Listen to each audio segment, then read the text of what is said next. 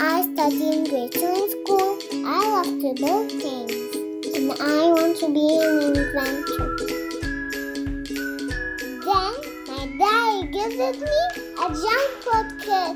He told me that mm, there is a scientist. His name was Thomas Edison. He said to invent, you need a good imagination and a pile of junk. Thought inventing was so easy.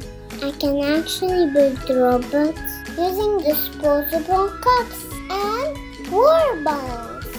My Junkbot kid has made it possible. Isn't that awesome?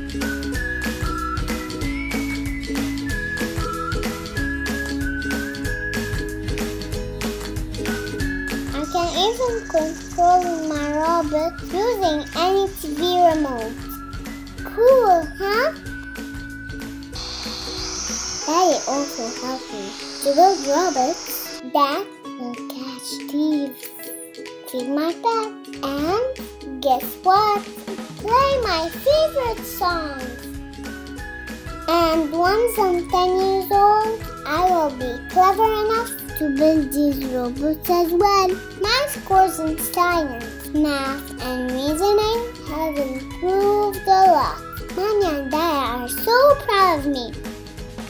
You know, even Steve Jobs, Thomas Edison, Albert Einstein, and Bill Gates were all inventors just like me when they were children. And now I am never bored. I'm always building new robots to make life easier for mommy, daddy, and me.